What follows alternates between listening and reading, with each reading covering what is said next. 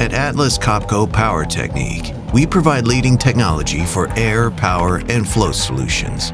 Engineered in Rock Hill, South Carolina, USA. Every product is created with innovation, detailed attention, and dedication to our customers' needs.